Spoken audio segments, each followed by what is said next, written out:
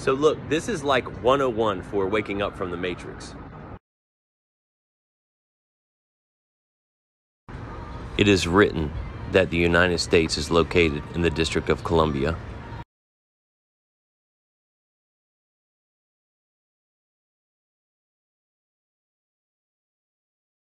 It is written that the United States is a corporation.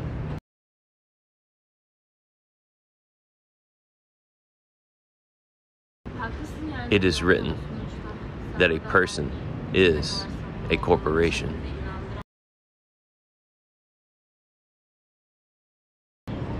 It is written that a U.S. citizen is a person.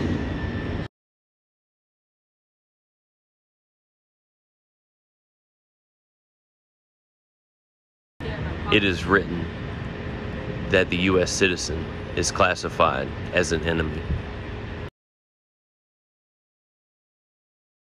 It is written that all U.S. citizens have to be licensed in order to do business as enemies. It is written that all crimes are commercial.